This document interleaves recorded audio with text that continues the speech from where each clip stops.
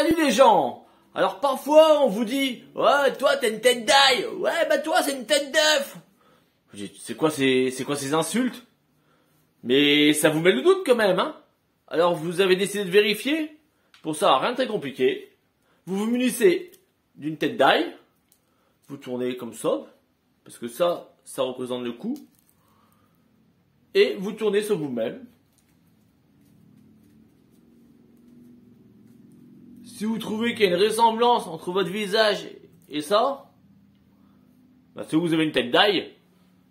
Par contre, en ce qui concerne la tête d'œuf, pareil, vous vous, munissez, vous vous munissez d'un œuf, pardon. Vous tournez sur vous-même.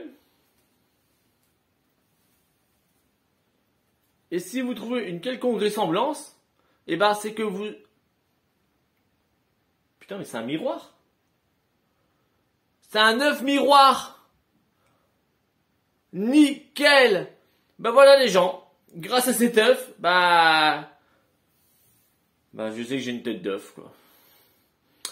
Bon bah les gens, si vous voulez savoir vous aussi si vous avez une tête d'ail ou une tête d'œuf, je vous conseille de suivre cette astuce et je vous dis à très bientôt pour notre tuto